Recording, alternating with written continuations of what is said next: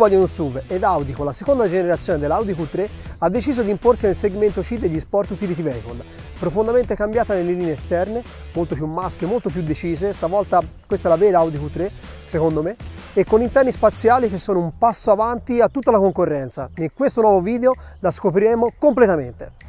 Single frame ottagonale per la nuova Audi Q3, diciamo è un po' di derivazione della nuova Audi Q8, la rendono ancora più eh, aggressiva, molto più sportiva, già dalla versione di base. Per quanto riguarda invece la fanaleria, su tutte le nuove Audi Q3 troviamo i fari a LED e al vertice dell'offerta i fari Matrix, dal design cuneiforme che vanno dall'esterno verso l'interno e viceversa, un po' come per la nuova Audi A1. Attenzione però, le frecce dinamiche sono incluse solamente con i fari full LED. Anche per quanto riguarda la linea della fiancata, come per l'anteriore, Audi ha deciso di dare molto, più, eh, molto più carattere alla seconda generazione dell'Audi Q3 vediamo delle linee scolpite quasi che eh, la ruota comunque sia il passaruota la faccia da protagonista. Molto più ben bilanciata con questa linea che va a ondulare dall'anteriore fino al posteriore per avere comunque sia una macchina molto più aggraziata rispetto al vecchio modello. La vettura che abbiamo in prova come quasi sempre è una vettura S-Line quindi diciamo l'allestimento più sportivo che rispetto alle altre versioni i suoi segni caratteristici principali sono l'estrattore sportivo con le due grandi prese d'aria sia al posteriore che all'anteriore.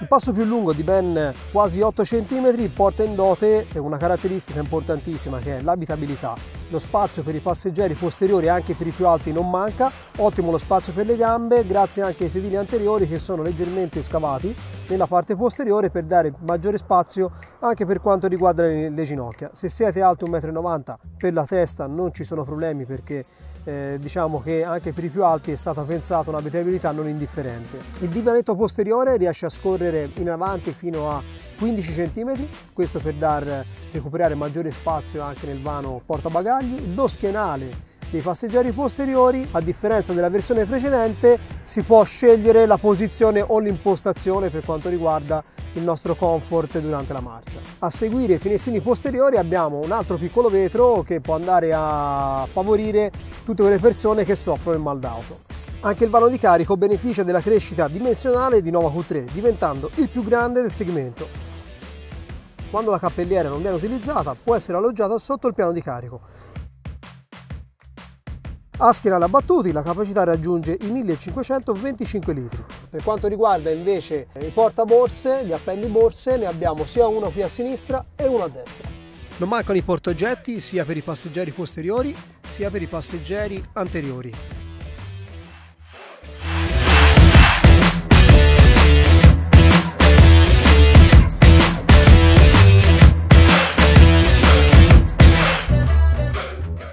Finalmente siamo a bordo della nuova Audi Q3, però la prima premessa che volevo fare, che mi è piaciuta tanto, sono le dotazioni di serie che ha diciamo, la seconda generazione. Già a partire dalla versione di base abbiamo la strumentazione completamente digitale con un display da 10,25 pollici, a richiesta possiamo avere il Virtual Cockpit con un display da 12,5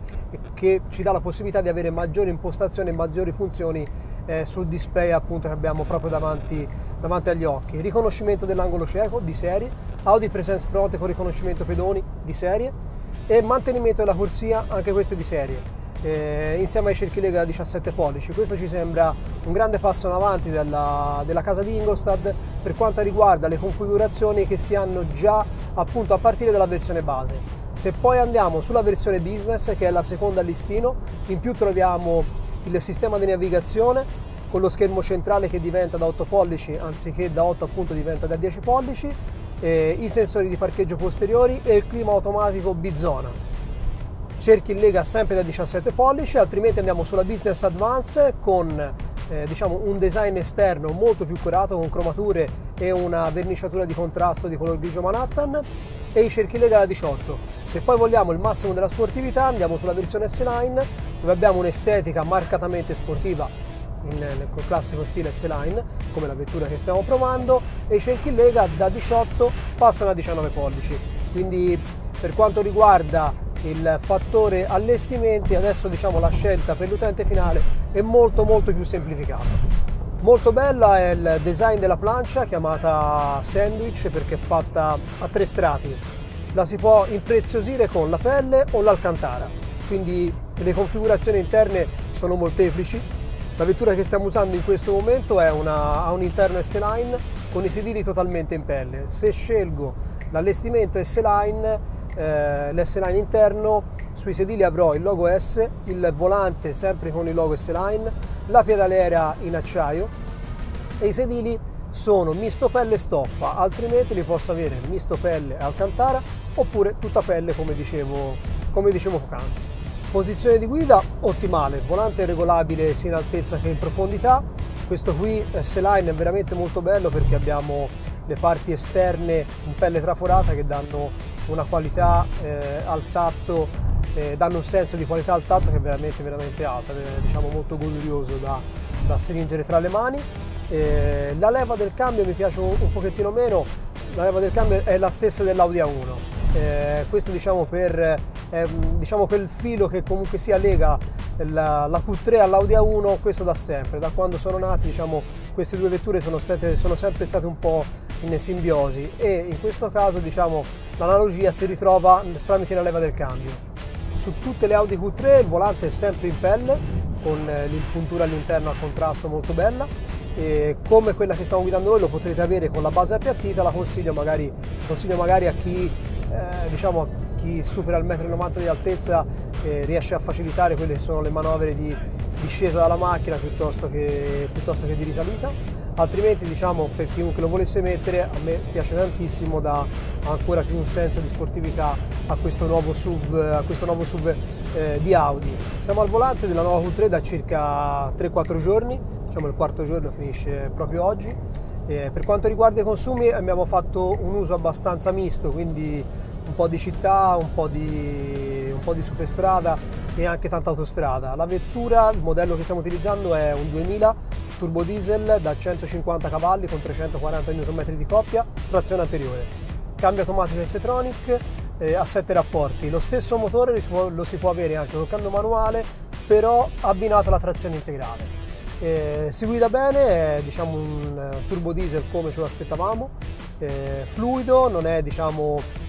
una vettura dalle prestazioni emozionanti, eh, però diciamo, è il, sicuramente il motore quello che viene più venduto eh, per quanto riguarda il, la seconda generazione dell'Audi Q3.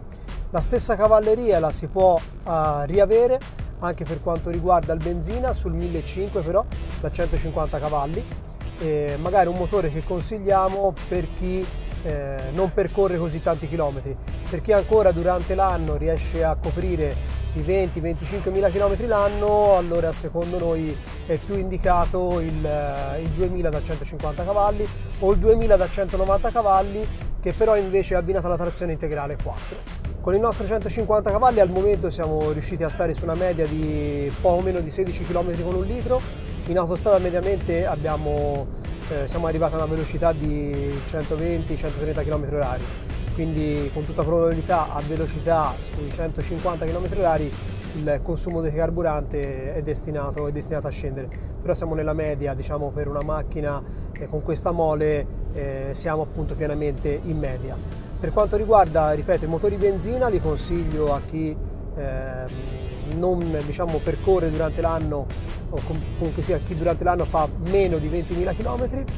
1550 cavalli diciamo, fa il suo lavoro egregio, altrimenti eh, sul benzina più brillante si può arrivare fino a un 2000 da 230 cavalli, sicuramente più prestazionale e molto più divertente, molto più divertente da guidare. Per quanto riguarda invece la, la componente prezzi si parte dai 34.200 euro per le versioni benzina e dai 37.400 euro circa per il 2000 da 150 cavalli, entrambi diciamo, i prezzi sono riferiti alla versione d'ingresso che è la Q3 base. Per quanto riguarda l'immissione tramite comandi vocali abbiamo trovato veramente grande semplicità perché l'assistente della vettura eh, recepisce al volo quelle che sono le informazioni che andiamo a chiedere alla macchina come per esempio ci ha stupito davvero tanto il sistema di scrittura tramite il display che ci permette di scrivere direttamente anche, non so, voglio scrivere audicaffè.it la vettura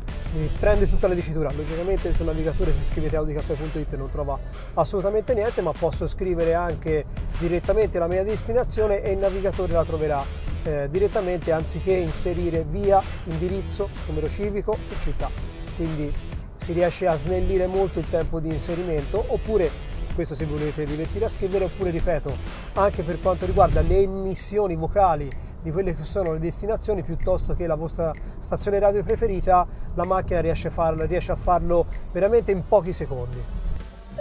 Radio DJ. Diciamo che ci siamo trovati molto bene con questo, con questo nuovo Audi Q3, macchina confortevole, macchina da famiglia tra i vari aspetti che eh, sempre più raro trovare sono gli attacchi ISOFIX di serie, sia per quanto riguarda il posteriore ma sia per quanto riguarda anche il sedile anteriore del passeggero.